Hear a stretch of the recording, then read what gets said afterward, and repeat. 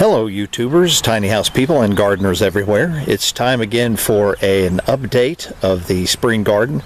Uh, this will be the last update we'll be doing before, uh, before doing the spring cleanup. So things are still just a little bit of a mess, but as you can see we have a lot of winter spinach growing.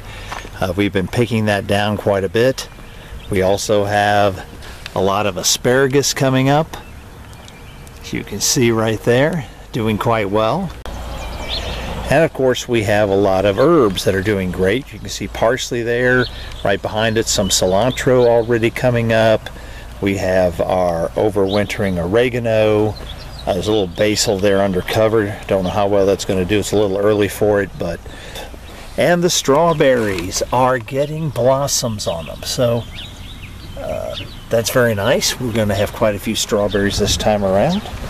You can see, the lavender is coming up. Great plant if you like to attract pollinators uh, to work in your garden, and that's a, always a good thing. We have more garlic. Uh, these plants are even bigger. And also over here, under cover, if you allow me to pull these, uh, pull these stones away. And here we have tomatoes that we have under kind of a little semi-open greenhouse effect underneath the uh, plastic. So those are doing quite well and uh, just kind of getting them acclimated to the weather. And then of course the major focus of this video is our peas. And as you can see the peas have been coming up.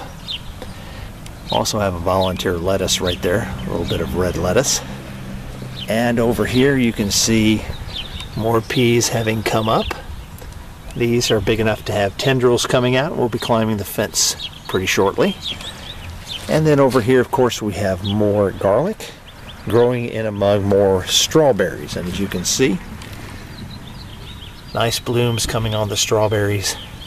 Some nice size on the garlic plants. Same here, and of course, looking back again at the spinach. So that's pretty much the uh, garden update. As you can see, we have a lot of cleanup out here to do, a lot of weeds to pull, a lot of uh, mulch to lay down. So we'll be getting right to that. And uh, the next video, we'll be showing our progress on that. Hope uh, that's helpful and useful for you. And till next time, have a great day.